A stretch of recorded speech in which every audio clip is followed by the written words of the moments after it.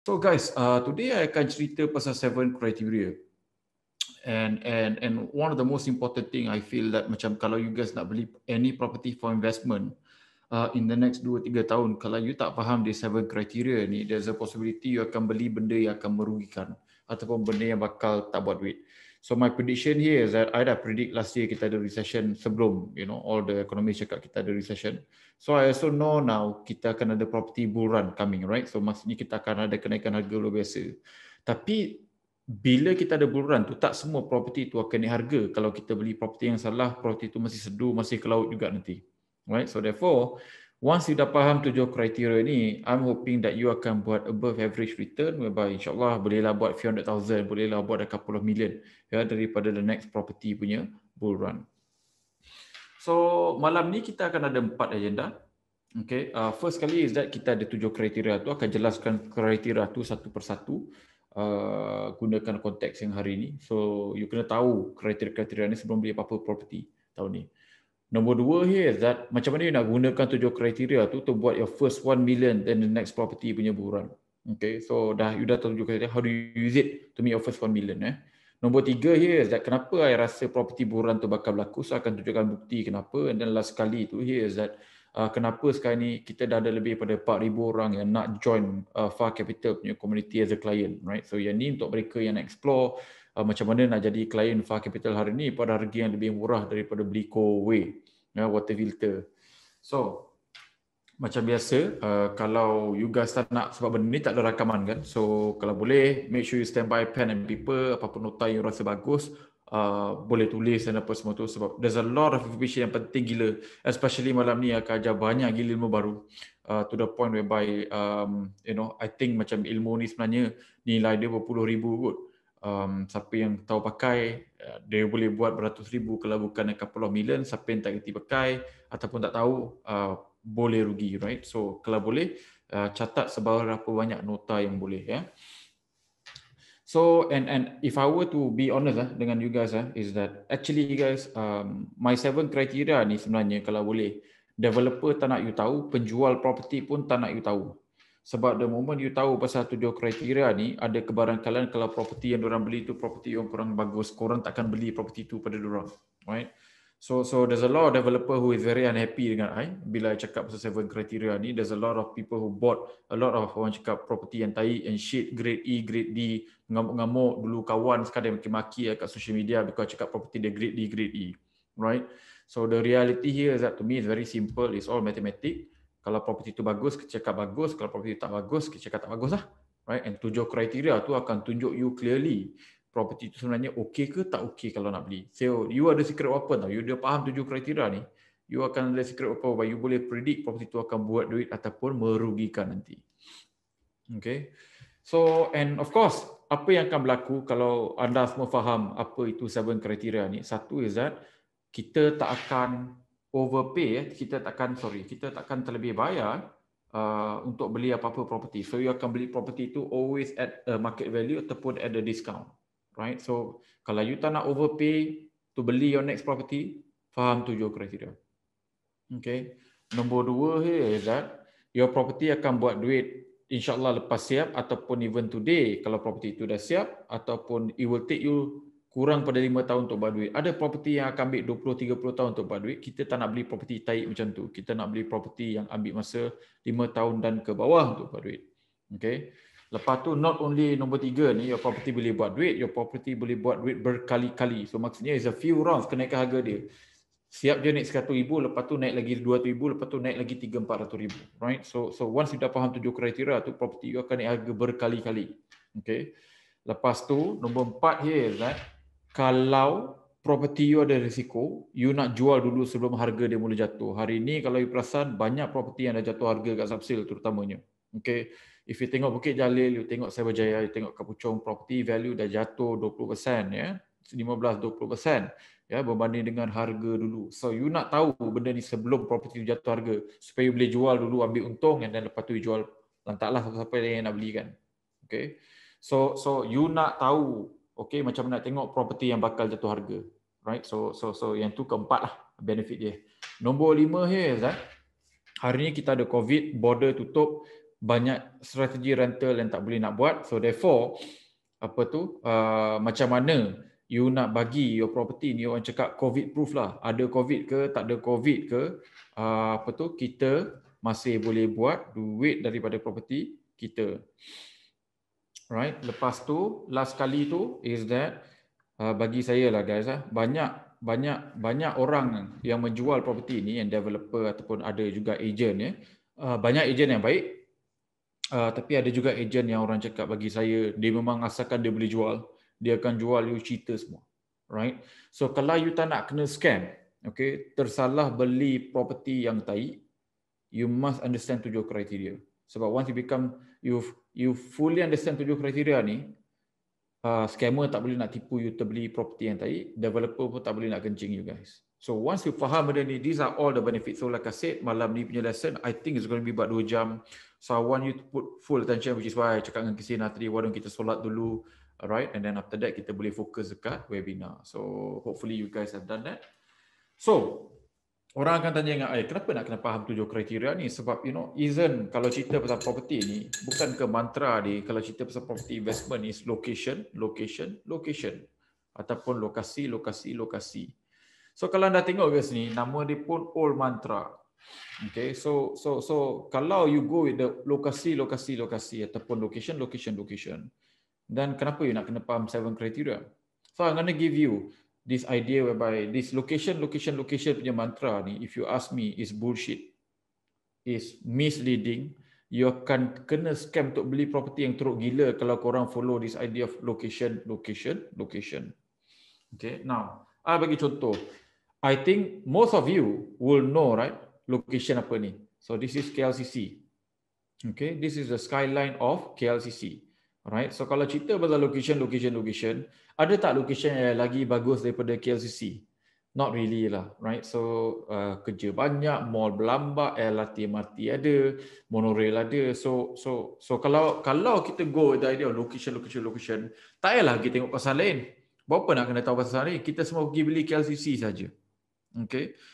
Itu kalau kita terpedaya dengan this idea of location, location, location. Okay.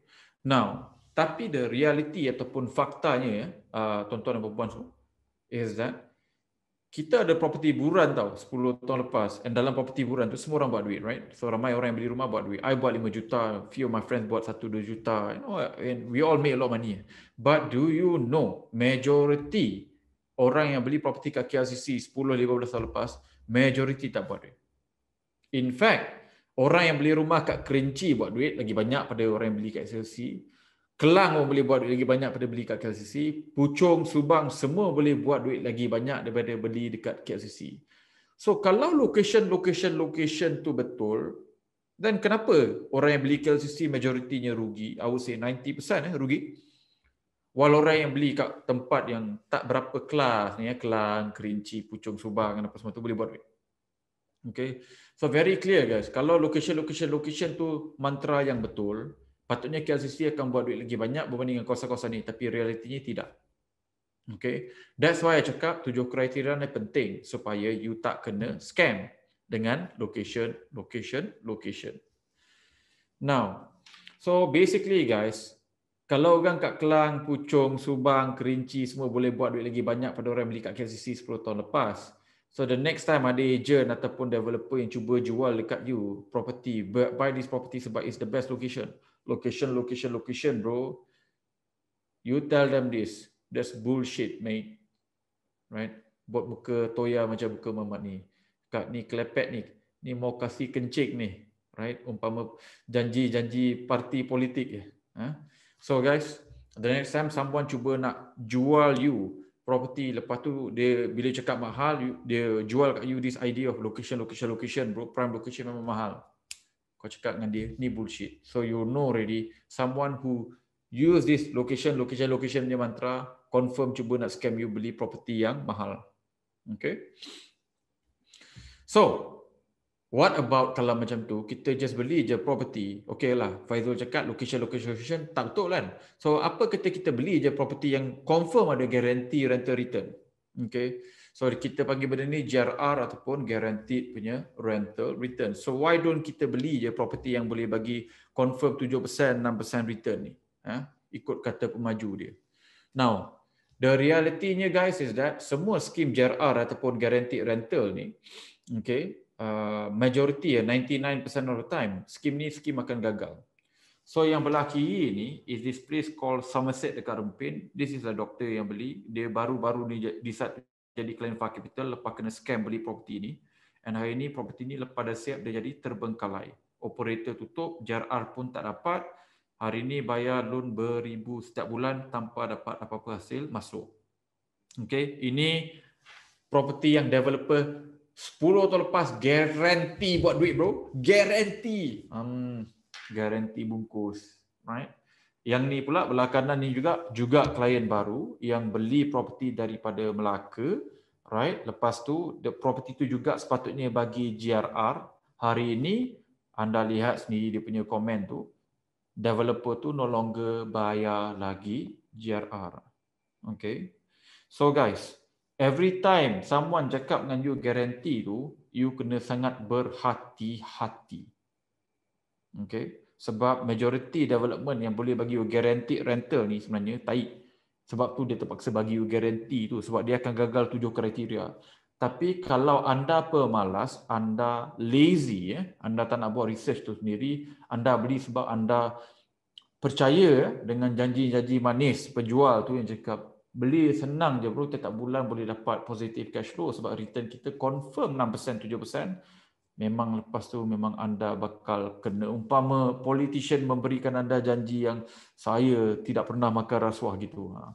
right so so kebarat bukan tak ada yang buat macam tu tapi majority I don't know lah ha. I dengar cerita majority buat. So guys JRR ni adalah umpama manifesto politik. Majoritinya not gonna end very well lah senang cerita okay So again guys, bila kau jumpa siapa-siapa yang nak bagi kau guarantee rental return, kita cakap apa? That's bullshit, mate. Okay, whenever you see someone giving you GRR, you say that's bullshit, bro. Right? So, now you dah faham kan? Location, location, location tu mantra yang tai. Nombor dua here is that GRR pun sebenarnya skim yang sangat tai. Whereby majority orang yang jual location, location, location and bagi JR ni, kebarangkalian property tu akan rugi tu terlampau tinggi. Gagal tu terlampau tinggi. So basically apa yang kita nak buat here is kita nak pastikan bila kita dah faham tujuh kriteria tu, you punya investment punya result tu akan jadi predictable. You tahu benda tu akan rugi atau untung dua tahun sebelum siap. lima tahun sebelum siap, you dah tahu dah boleh buat duit ke tak boleh buat. Okay, now, I suka gunakan metodologi ni, right? Kalau kita nak result kita konsisten dan bukan bernasib baik dia boleh buat duit, right? Uh, and bila bernasib buruk rugi, bernasib baik kita buat duit. Kita tak nak macam tu. Kita nak konsisten je buat duit. Okay? Now, kalau you nak konsisten result, kita kena ada konsisten punya proses. Okay? So, what do I mean by that? My mom, God bless her, you know, um, and I, I was very fortunate lah orang cakap tu. I am very fortunate lah to have a good mom. Tapi my mom ni kalau dia jadi masak guys, dia tak follow resipi, dia main campak-campak. So mi goreng dia kalau dia masak 10 kali itu 10 kali itu rasa dia lain. Sedap tapi sedap mas sedap tapi rasa dia tak pernah sama. Sama lah dengan rendang ayam dia juga sebab dia never follow sukatan ataupun resipi. Now, itu kalau masak guys. Okay. But kalau kita pergi McDonald, perasan tak kau pergi McDonald Kota Damansara ke, Monkiara ke, Kedah ke, rasa fries tu masih sama. Kenapa sama? Sebab dia follow proses. Fries tu goreng berapa lama? Okay, berapa lama segar lepas tu kena buang, right? So guys, tujuh kriteria ni is to make you making sure that you understand process. Macam mana nak filter property yang bagus dengan property yang tak bagus. Sebab tu penting gila benda ni, right? So, ini adalah tujuh kriteria kita, right? Which is uh, the first one is new versus old ataupun rumah baru versus rumah lama. Nombor dua adalah teori median. Nombor tiga adalah teori.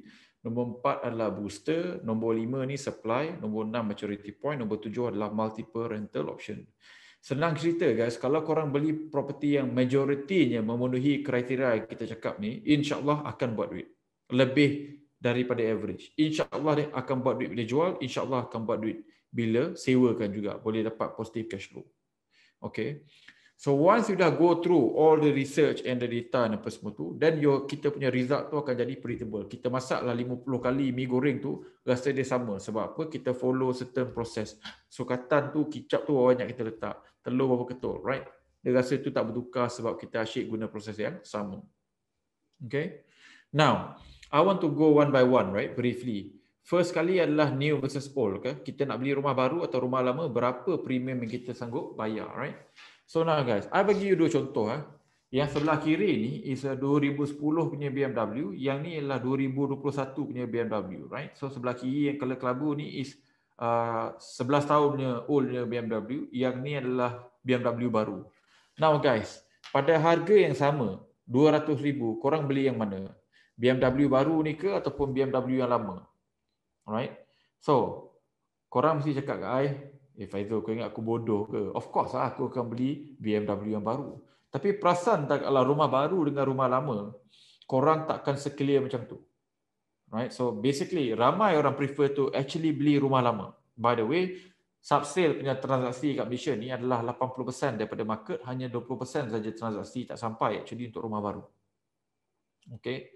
So, senang cerita, bila cerita pasal guide dia guys, kalau kita dapat beli rumah baru tiga bilik di kawasan katalah Mont Kiara ni pada harga 600,000, lepas tu rumah lama pun 600,000, kita nak beli rumah yang mana guys? Of course kita beli rumah baru. Hanya orang bodoh saja yang akan beli rumah lama pada harga sama macam rumah baru. Okay. Sama juga macam analogi kereta tadi. So you guys kalau you guys ingat, right? I dulu suka cerita pasal bangsa South, right? Kalau you ingat dulu Park Residence dulu rumah lama pantai panorama harga jualannya 270,000 rumah baru sebelah dia 330,000 untuk unit paling kecil.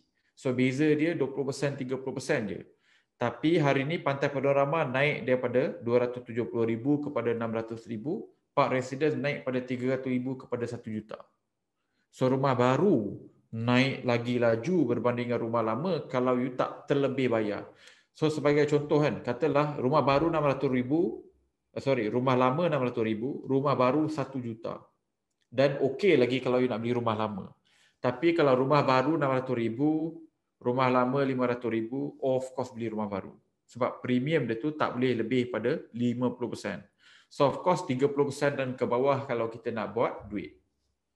Okay.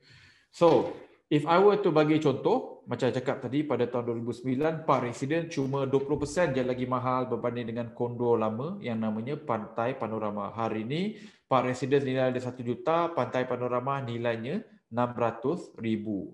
So naik harga Pantai Panorama naik dua kali ganda, but Park Residence naik lebih pada tiga kali ganda. Okay. So macam cakap tadi, kalau rumah baru tak berapa mahal sangat berbanding dengan rumah lama, kita always nak beli rumah baru. If the premium is less than 30%, you want to buy new property. Okay. So remember I talk about park residence and I also talk about in my past webinar, we have found the next park residence. The next park residence tu guys, kita beli tu pada harga 40% cheaper compared to rumah lama. So for example, in this particular case, dekat Publica ni kan, tengah jual pada 900 to about 1000 per square foot we are now buying at less than 700 ringgit per square foot. Dua bilik kat sini jual pada harga almost 1 million we are trying to buy it at 500000 sahaja. So we are buying at 50% discount versus rumah lama. So not only we're not only paying the same price guys we are actually paying much cheaper compared to rumah lama. So that's why to me this is the next park residence. Okay So, that is the first rule tadi, new versus old. Now cerita-cerita pasal median pula. What is median?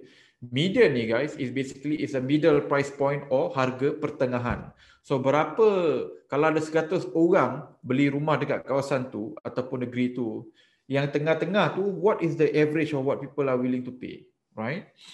Now, I'm sure you know already kita ni ada overhang, ada banyak property baru yang tak terjual dekat Malaysia ni right? So we have a property overhang. We have a lot of unsold property dekat Malaysia. Okay. In fact, kita ada record. Now, I want you to see Johor.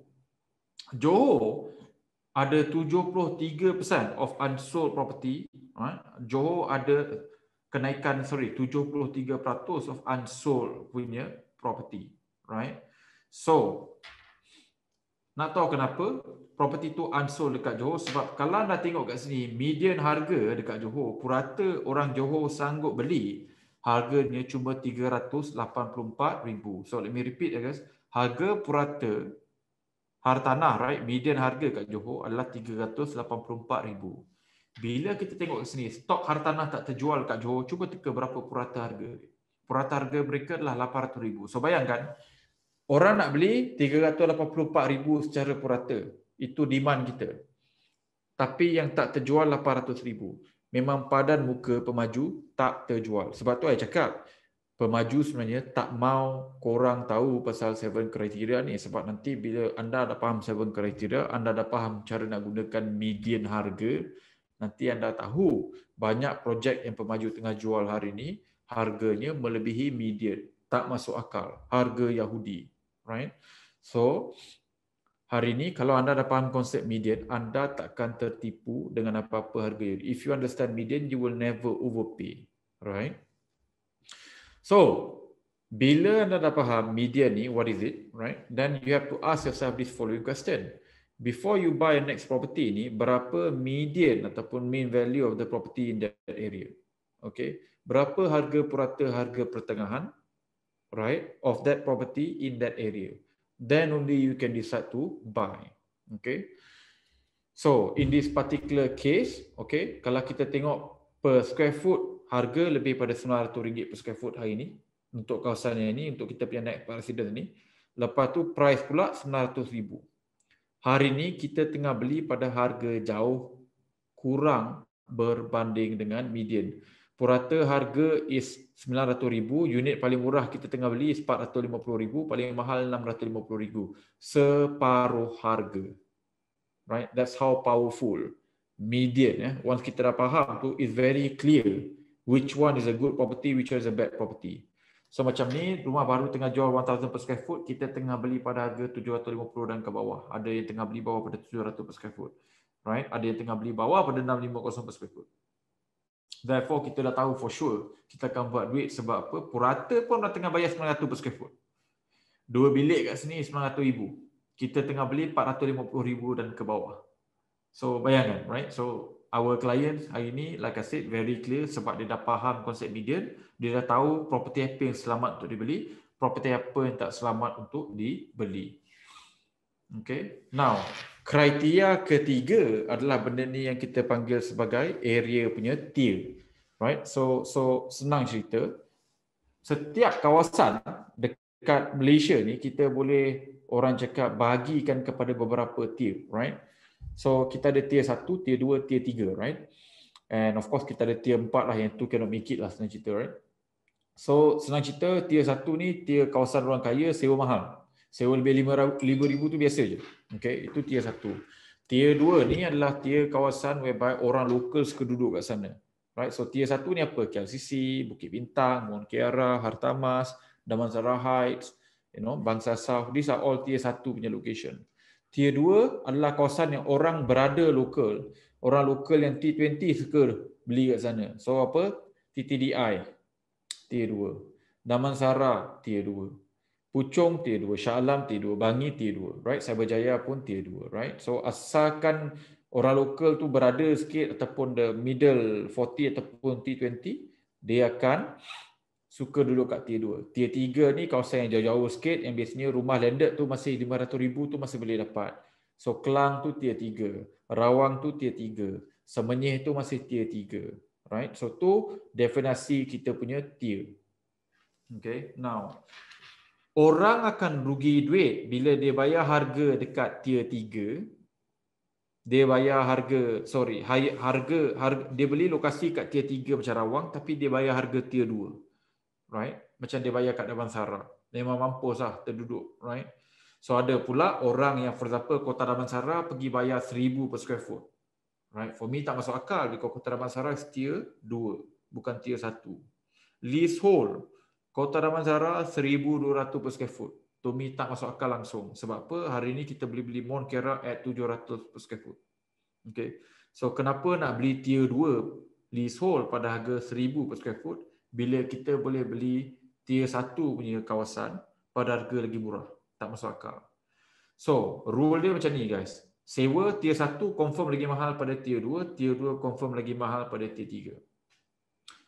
Property punya price pula sepatutnya, ya, nombor 2 ni, ya, tier 1 sepatutnya lagi mahal pada tier 2, tier 2 sepatutnya lagi mahal pada tier 3. Tapi realitinya is that bukan semua tier 2 ni confirm lagi murah bandingkan tier 1. TTDI harga macam bangsa lagi mahal pada Mount Kiara. Right? Walaupun you know is kawasan lokal. Right? So therefore I takkan beli TTDI today because harga dia terlalu mahal kalah kawasan tier 1. Uh, rental cannot make it. Rental murah je kalau kat TTDI kalau bandingkan Mount Kiara ataupun bangsa. Kat mana boleh buat duit, semua tier boleh buat duit asalkan you tak terlebih bayar. Ingat tadi new versus old, ingat tadi first rule, new versus old, second rule, median. Once korang dah faham tu dengan tier, asalkan kita tak beli property tier 1 pada harga melangkaui ya daripada apa purata tier 1. You tak beli tier 2 pada harga tier 1. You tak beli tier 3 punya kawasan pada harga tier 1.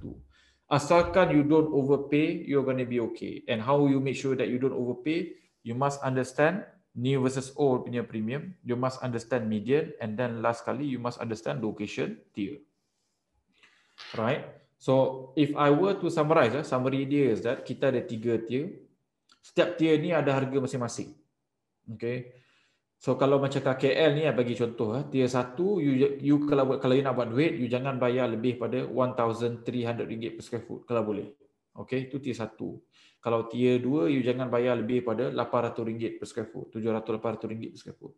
And tier 3, kalau boleh, you jangan bayar lebih pada RM500 per square foot. Hari ini, kita orang tengah beli kawasan tier 1 pada harga tier 2. Okay, so sebab tu, kita orang memang confident gila kita akan dapat buat duit. And last kali, ada kawasan juga yang dulunya, tier 3 sekarang ni dah jadi tier 1.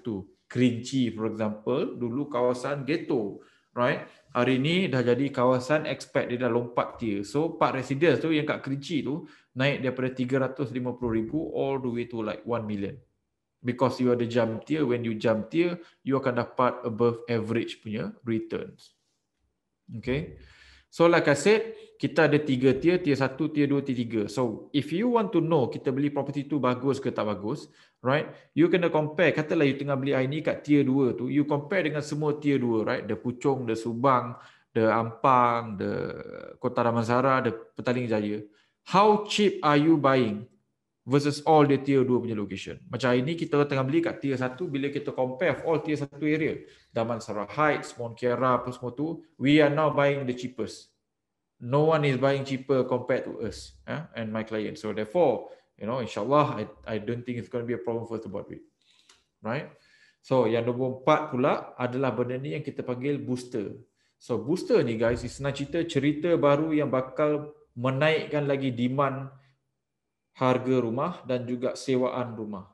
So lagi banyak booster, lagi tinggi kenaikan harga. Okay, now but first you jangan terlebih bayar lah. Kalau you dah terlebih bayar harga Yahudi untuk beli katalah you beli kat Subang you bayar 1000 per square foot. Kalau letaklah booster 50 pun susah nak buat duit. Right? Sebab you dah terlebih bayar, you overpaid. The moment you overpay, game over. You akan rugi. Okay? So, apakah booster? Booster basically lagi banyak, lagi bagus.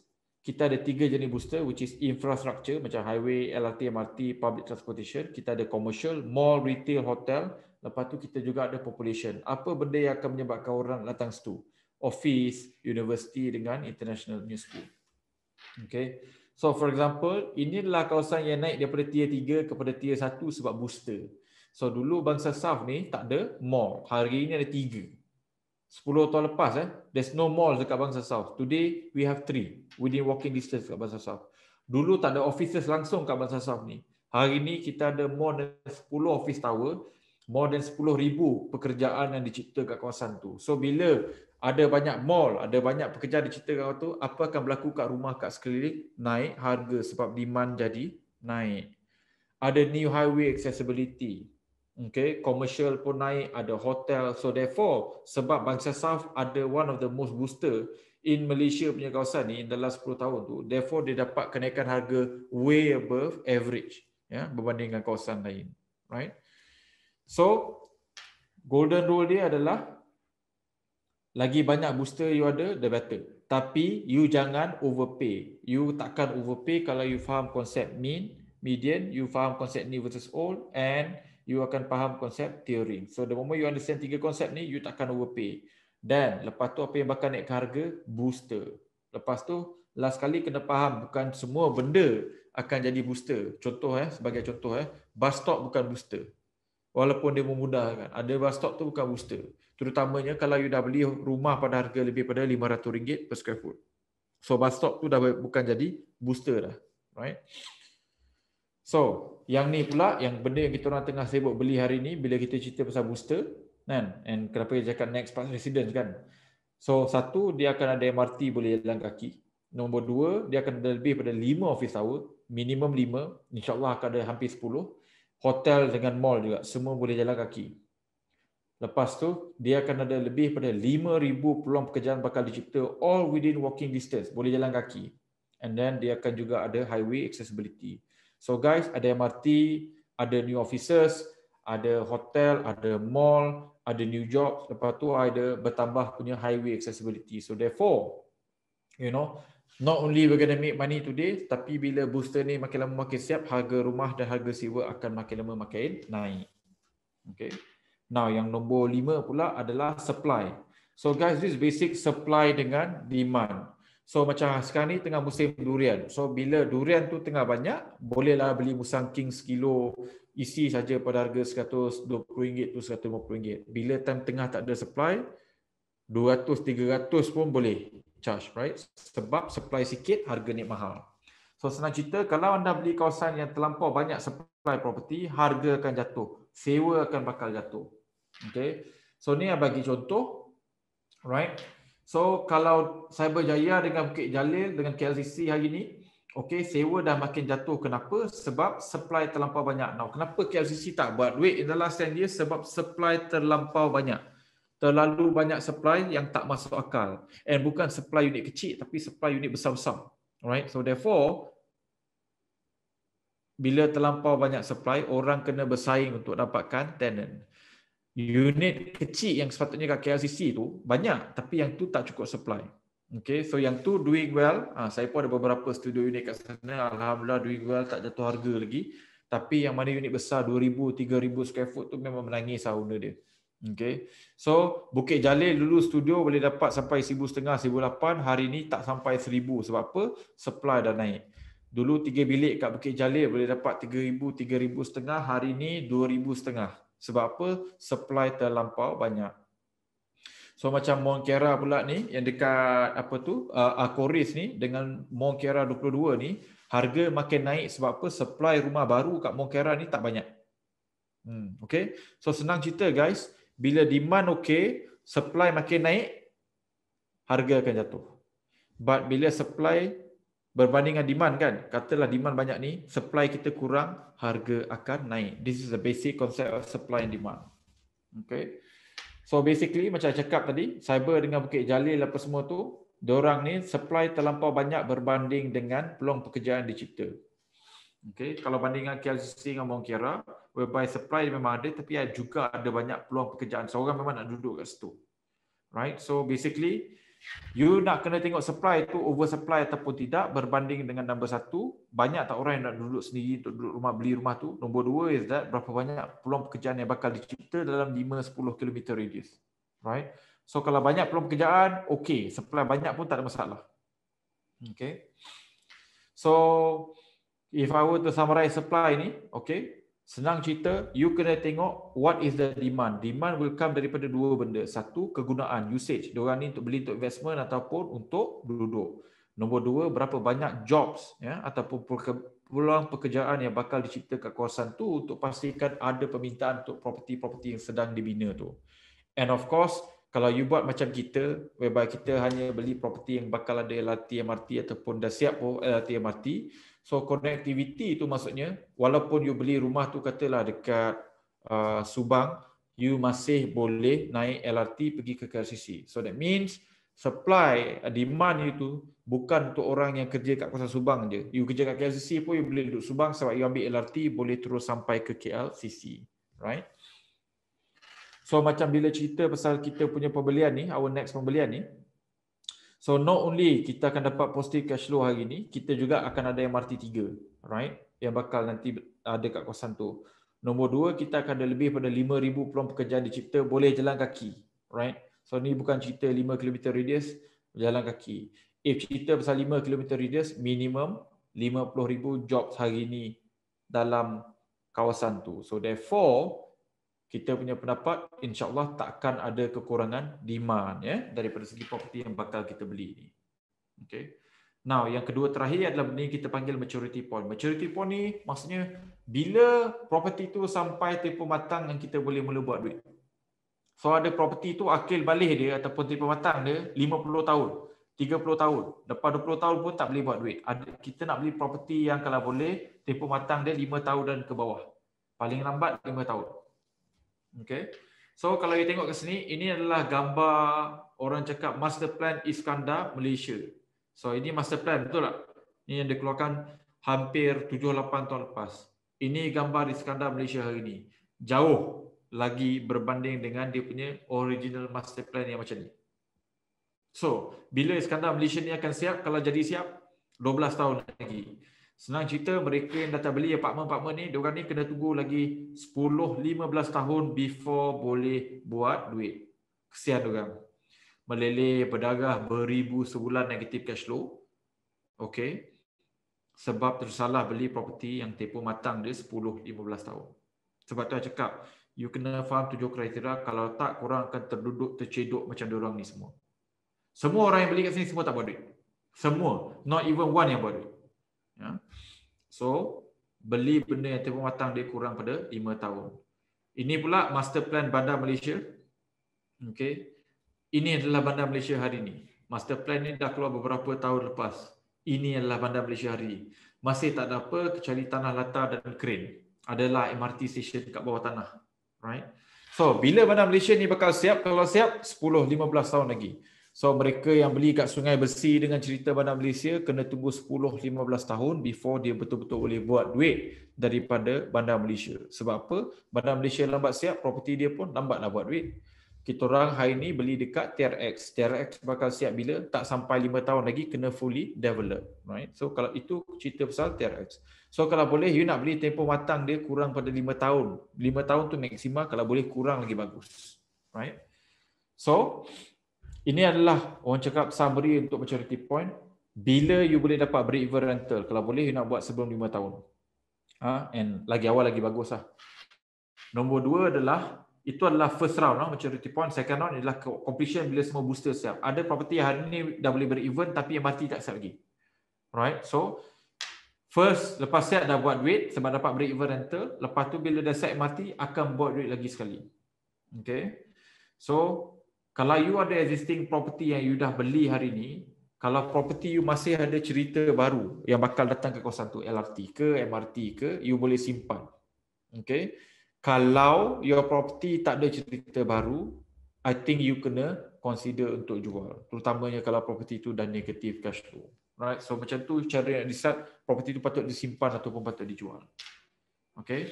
Ni kalau kita cerita pasal apa yang kita sedang beli ni, bila kita dapat break even rental maturity point pertama dia hari ni. Hari ni kalau rumah tu dah siap dah boleh dapat break even dah confirm. Nombor dua, completion of all booster, MRT, office dan apa semua tu tujuh tahun pada sekarang. So, I cakap tadi lima tahun kan? I cakap lima tahun untuk break even rental. So, break even rental hari ni. So, booster pertama settle lah. Maturity point satu, okay. Now, maturity point kedua, whereby kita nak buat, hopefully buat empat lima ratus ribu per unit from each unit kat sini is that tujuh tahun daripada sekarang sampai bila semua booster ni pun dah siap. Okay. So kita akan buat duit tiga kali. First round bila rumah tu dah siap sebab cash flow positif kita orang lebih daripada seribu. Nombor dua is that bila office ni dah siap, boleh jalan kaki pergi office. Right. So again, permintaan tu akan naik.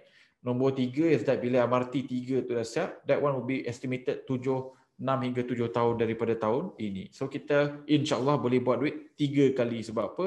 Booster kita terlampau banyak dan akan ambil masa untuk siap. So tu kelebihan beli-beli property yang banyak booster. Right? Now last kali of the seven criteria guys is multiple rental option. Ya, kepelbagian sewa.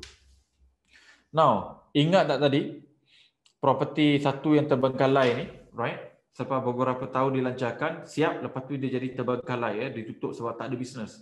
Yang ni pula yang dekat Melaka tu.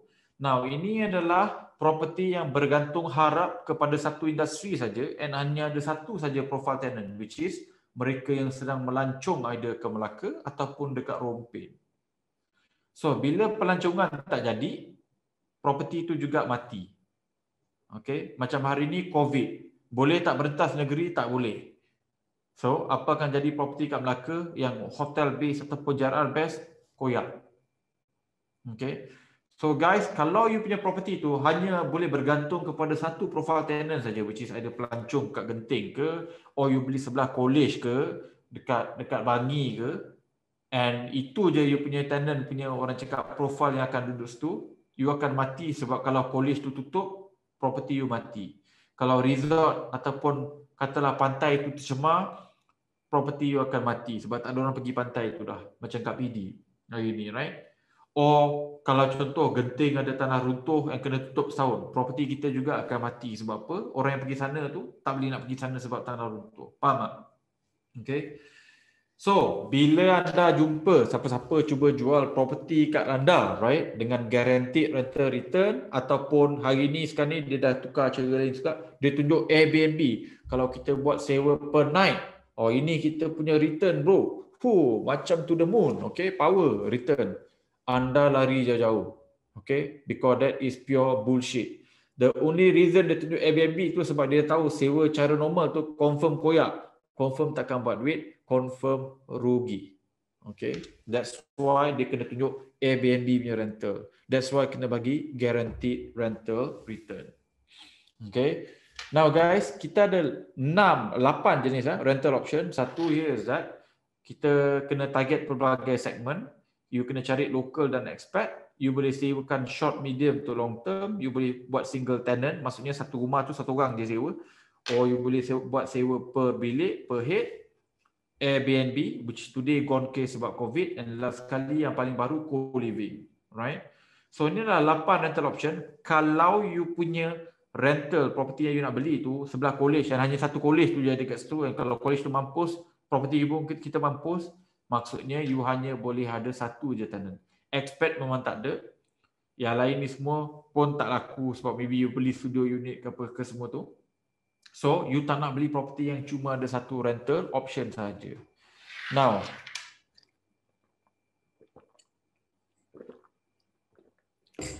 kalau your property hanya ada satu saja cara untuk sewakan, property itu adalah property yang berisiko tinggi. Okay, nombor satu. Nombor dua is that kalau you tak boleh cover at least 70% of your loan secara normal, bukan rental per, per kepala Airbnb, co-living, bilik apa semua tu, normal rental je. Sewa biasa. Tak boleh cover 70%, property tu is overpriced. Okay. Now, yang ni cerita pasal pembelian yang bakal kita nak beli tu sebab nak gunakan sebagai contoh, anda boleh tengok sendiri. Hari ni kalau kita nak sewakan kepada single boleh, family boleh, professional boleh. Sebab apa? Memang dah ada kat dalam kawasan tu kawasan yang kita orang beli ni kawasan tier 1 jadi ada local dan juga ada expat. Okay, good. Boleh sewa short, medium, long term. Hari ni memang orang dah buat pun kawasan ni. So far okay, good. Boleh buat per room, no problem. Co-living, langsung no problem. Airbnb memang dah ada orang buat tapi kita tak suka Airbnb. Kalau boleh kita nak jauhkan lah. Kita tak suka Airbnb. And sebab tu ada buka buka tak boleh belah ni kan. Lepas tu last kali is rental per head boleh buat tapi kita tak suka personal preference. So kita nak buat lima ni dulu berbanding orang cakap kalau darurat baru kita pergi main Airbnb ataupun rental per head ni. So guys, this is what I mean. Bila you nak beli property, you kena beli property yang ada multiple rental option. Nak sewa kat single, family, professional, local, expat boleh. Short term, medium term, long term boleh. Per room boleh. Co-living boleh. Airbnb boleh. Per head boleh. If you boleh sewa macam ni, your property is located in a good area you tak terlebih bayar and you ada banyak rental option ni anda sampai bila-bila pun takkan terdesak sebab kalau satu rental option tak jadi boleh pergi ke plan B boleh pergi plan C boleh pergi plan D boleh pergi plan E right So ini adalah contoh klien Far Capital yang hari ini bila waktu COVID ni kan dia beli dual key unit dekat Damansara eh. So Damansara dekat dengan MRT ada mall eh. Dia beli pada harga RM600,000 dapat dua ketul unit. So satu studio dan juga satu dua bilik. Kita buat co-living kat situ. Dua minggu je guys waktu PKP ni habis disewakan semua. Cash flow positif dapat beli rumah ni tanpa modal. So let me repeat. Dua minggu saja waktu PKP. Ni bukan waktu biasa. Waktu PKP ni. Dapat disewakan pada positif cash flow and rumah ni dia beli tanpa modal. Sikit pun tak keluar duit. Okay. Ni pula my client beli rumah tu pada harga RM420,000 pada tahun 2016, siap pada tahun 2019, hari ini dah buat 100 ribu. And today, walaupun rental dia, kita dia bayar kat bank 1,700, hari ini boleh dapat sewa 3,200 hingga 3,600 gross rental. So again, property nearby LRT, kawasan KL, harga 420 ribu, sekarang dah untung close to 100,000. On top that, cash flow positif dia boleh jadi 4 angka sebulan. Kita dah tahu benda ni akan buat duit pada tahun 2016 sebab tu kita suruh dia beli ha, kita dah faham tujuh kriteria. Right? Yang ni one of my friend juga whereby dia beli property ni, rumah dia tak siap lagi ni guys. Uh, sorry, rumah dia tak pergi tengok lagi. Dia dah dapat sewakan dah. So tak sempat tengok rumah, rumah tu dah aku, dah jalan dah. This is November 2020, again waktu PKP. So, dua minggu lepas siap, terus disewakan, cash flow positif, tak sempat tengok rumah. Waktu PKP. Okay. So, I dah sampai ke tujuh-tujuh kriteria tu. I hope you belajar banyak pada tujuh-tujuh kriteria tu. So senang cerita, macam saya cakap tadi guys, ada sebab kenapa banyak penjual jahat ataupun developer yang tak mahu anda tahu pasal tujuh kriteria ni. Sebab once you dah faham pasal seven kriteria, anda takkan, you will never overpay a property and you will also never lose money. Okay, number two here is that you akan buat duit laju. Orang lain kena tunggu 10-20 tahun buat duit you cash flow positif kalau boleh day one ya tak sampai lima tahun nombor tiga you buat duit berkali-kali siap je positif cash flow buat duit sekali 80,000 macam my client bila booster-booster lain tu siap tu you buat lagi duit macam empat residence okay so nombor empat kalau you dah terbeli kat kawasan macam saya berjaya kalau you dah tahu pasal supply ni beberapa tahun lepas you akan jual property tu sebelum supply dia naik dan you terlampau banyak competition. Dulu sewa studio 1008, sekarang ni jadi 800 900 saja. Ya. Masih ada orang boleh dapat sewakan lebih daripada 1000, tapi sewa memang dah jatuh sebab terlampau banyak supply. Nombor lima, walaupun kita ada recession macam COVID, okay, walaupun kita ada kegawatan ekonomi hari ini, economic recession, my client still boleh dapat cash flow positif, property masih ada demand. Okay, ni apa yang akan berlaku bila you ada seven, seven criteria last sekali, no one can scam you into buying a bad property anymore once you dah faham tujuh kriteria. Okay. So guys, I'm at the end of the first part of tujuh kriteria. I hope you belajar banyak gila daripada sesi ini. And I hope I dah berjaya jadikan you sebagai scam proof. So tak ada orang boleh scam you untuk beli a bad property. So always remember guys, untuk buat duit ah, dalam ekonomi baru ni, okay, capital atau usaha tu tak berapa penting berbanding dengan knowledge. So once you dah ada ilmu yang cukup, you dah boleh defend daripada tersalah beli property yang salah.